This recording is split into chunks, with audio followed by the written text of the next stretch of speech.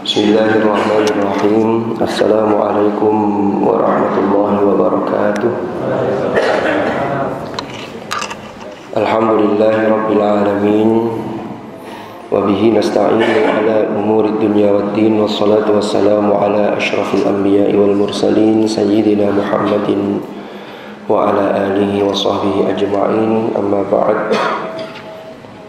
yang kami hormati para alim, para ulama, para kiai, para asatid, para sepuh, para bini sepuh, para hadirin dan hadirat jamaah masjid Masjid Jami Haji Agus Salim rahimakumullah. Alhamdulillahirabbil alamin.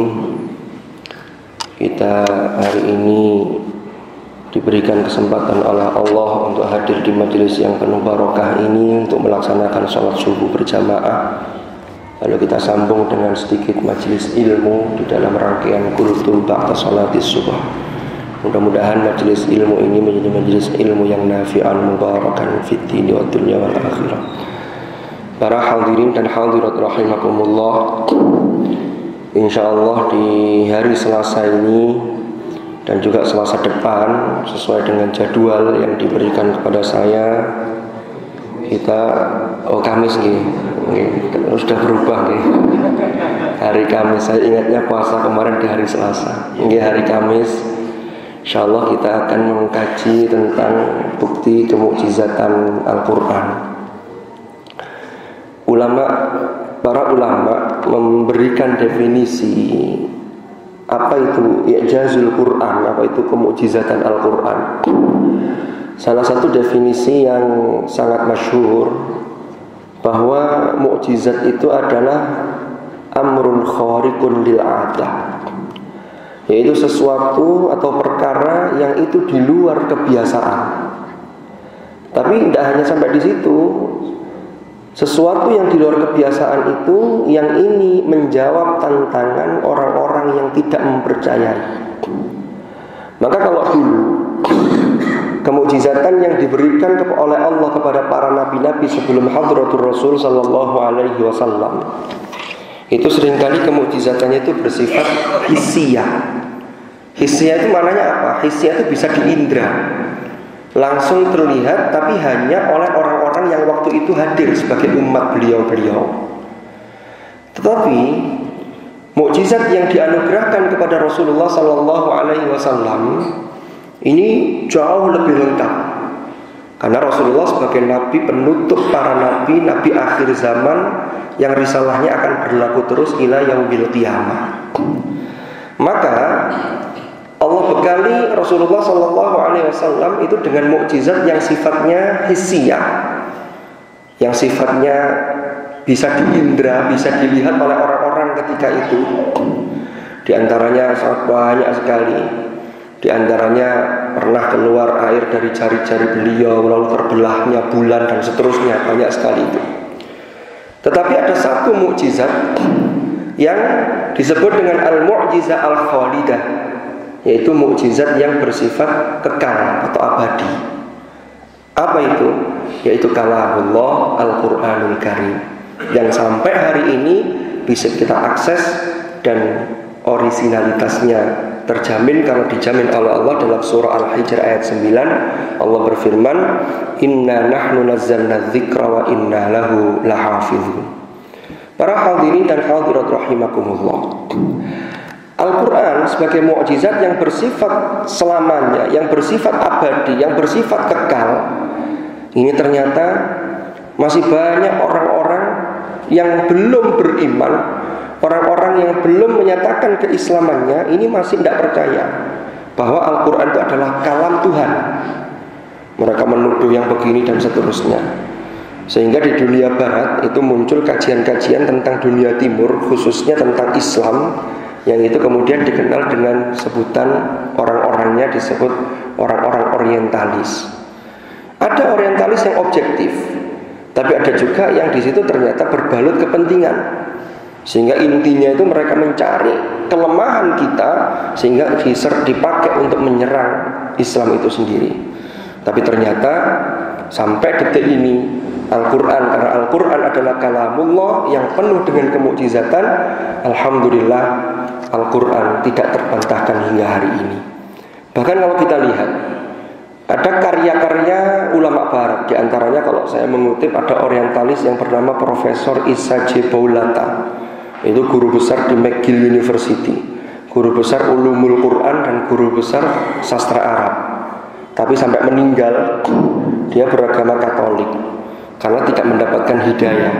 Tapi dia menulis satu buku yang buku itu banyak buku sesungguhnya. Ada salah satu bukunya itu yang menulis tentang keindahan bahasa Al-Quran. Jadi aspek kemujizatan dari sisi bahasa. Tapi dia tetap tidak beriman. Makanya kita ini sebagai orang yang beriman kita bersyukur. Kita bersyukur karena keimanan itu adalah nikmat anugerah yang paling agung. Lalu baru kemudian disusul nikmat-nikmat yang lainnya, nikmat iman, Islam dan kemudian sehat, waktu luang dan seterusnya.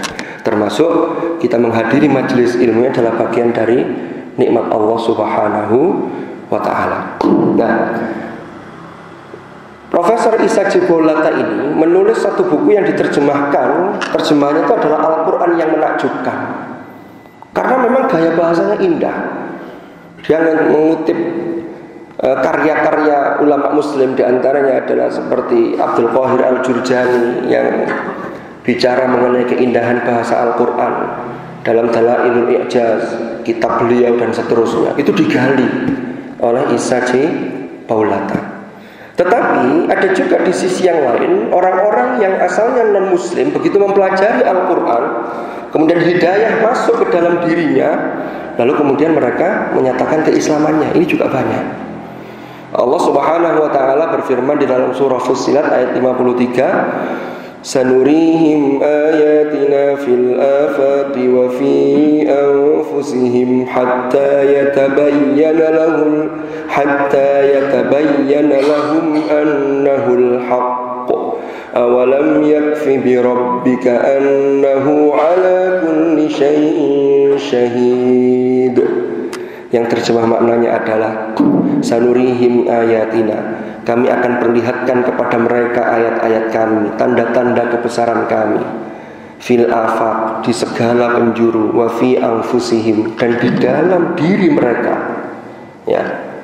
An hatta yatabayyana lahum annahul haq. Sampai jelas bagi mereka bahwasanya Al-Qur'an itu adalah al-haq yaitu kebenaran sesuatu yang pasti benarnya. Awalam yakfi bi rabbika annahu ala kulli syai'in syahid para hadirin dan hadirat rahimakumullah. Maka berbicara mengenai kemujizatan Al-Quran Insya Allah di majelis ini dua tahun yang lalu sudah pernah kita kaji. Cuman memang ketika itu contohnya tidak secara detail. Tapi secara umum memang ada lima aspek kemujizatan. Yang pertama itu adalah al-i'jaz al-lughawi Yaitu kemujizatan dari aspek kebahasaan. Kita sekarang mencoba untuk masuk Contoh aspek kemukjizatan dalam aspek kebahasaan itu adalah Termasuk di antaranya adalah Jumlah keseimbangan kata yang ada di dalam Al-Quran. Karena Allah berfirman Allahu anzala anzala al-kitab wal mizan. Jadi Allah itu menurunkan kitab ya anzal al-kitab bil haqqi wal mizan. Jadi di situ tetap ada keseimbangan. Para ulama menggali Di antaranya ketemu. Kata yaum di dalam Al-Quran Yaum itu artinya hari. Itu ternyata setelah dihitung jumlahnya Itu terulang sebanyak 365 kali. Itu sesuai dengan jumlah hari dalam satu tahun Di luar tahun kabisat Dalam penanggalan syamsiah Lalu kata ayam jamak dari yaum Ada ayam, ada yauma ini ya bentuk musanna, bentuk dua itu terulang sebanyak 30 kali. Ternyata ini seimbang dengan kenyataan bahwa dalam satu bulan itu kalau diambil rata itu 30 30 hari. Terus kata syuhur, syahr, syuhur, syahr, ashur itu sebanyak 12 kali disebutkan di dalam Al-Qur'an. Karena Allah jelas menyatakan dalam firman-Nya inna iddatasyuhuri indallahi 12 syahran fi kitabillah. Sesungguhnya hitungan bulan di sisi Allah itu ada 12. Nah, sehingga 12 bulan penanggalan Komariah dan Syamsiah itu sama-sama jumlahnya 12 kan begitu ini contoh-contoh al-i'jaz dalam sisi kebahasaan dan itu dalam sisi keseimbangan belum lagi kalau kita tarik lebih jauh ini pernah suatu ketika orang-orang musyrikin Mekah itu menemui pimpinan kelompok Yahudi Bani Najjar. Lalu mereka bertanya bagaimana ini menghadapi Muhammad ini? Akhirnya dapat masukan dari Yahudi Bani Najjar tanyalah dia tentang empat hal. Jika tiga hal ini dia bisa menjawab maka dia adalah seorang nabi. Tapi kalau satu hal ini dia bisa menjawab dia bukan nabi. Tapi kalau yang satu yang terakhir dia tidak bisa menjawab maka dia adalah seorang nabi. Apa itu? Ditunjukkan oleh Yahudi Bani Najjar itu ada tiga pertanyaan. Pertanyaan pertama, orang-orang musyrikin Mekah diperintah disuruh untuk menanyakan kepada Rasulullah Sallallahu Alaihi Wasallam tentang kisah Ashabul Kahfi. Kisah Ashabul Kahfi itu tidak disebutkan di dalam Injil, tidak disebutkan karena Ashabul Kahfi itu terjadi itu dalam kurun waktu tahun 93 Masehi sampai 117 Masehi. Dan kisah Ashabul Kahfi itu ternyata dari aspek sejarah secara setelah digali ini setelah jauh setelah turunnya Al-Quran. Itu terjadi pada tahun 112 Masehi. Berarti ini jauh setelah Nabi Isa wafat. Nabi Isa diutus. Ini jauh setelah itu. Sehingga tidak ada di dalam kisah itu di dalam Injil atau yang disebut oleh eh, mereka dengan perjanjian baru ya. Nah ada. Lalu ini disuruh nanyakan sebagai untuk tes bahwa Muhammad ini tahu apa enggak. Kalau dia nabi pasti dia tahu. Nah, lalu yang kedua pertanyaan tentang kisah Nabi Musa ketika Nabi Musa itu diperintah oleh Allah untuk menjadi seorang murid dari Nabi Khidir. Dan yang ketiga kisah mengenai seorang penguasa yang menguasai timur dan barat. Yang itu dalam surah Al-Kahfi disebut wa yas'alunaka anzil qarnain. Jadi tiga pertanyaan ini tesnya kalau tidak bisa jawab berarti bukan nabi. Kalau bisa jawab berarti nabi. Dan yang terakhir pertanyaannya kapan terjadinya kiamat?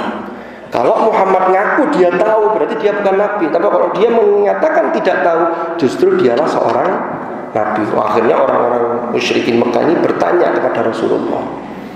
Nah setelah mendapat jawaban itu Rasulullah tentunya tidak bisa langsung menjawab karena menunggu wahyu. Rasulullah menjawab, iya besok akan saya jelaskan.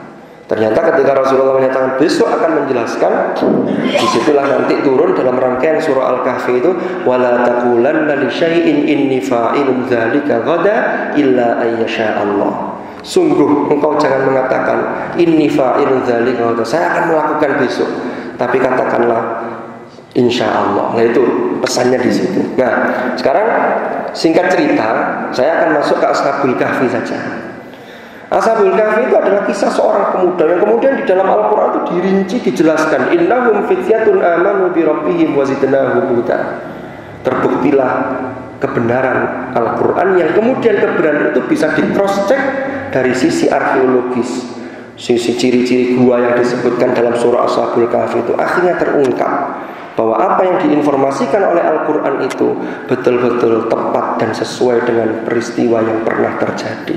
Belum lagi kalau kita lihat ketika Ashabul Kahfi ini diperdebatkan ya berapa orang mereka itu ternyata ada perdebatan itu Al-Quran sudah menyampaikan. Nah termasuk berapa orang jumlahnya?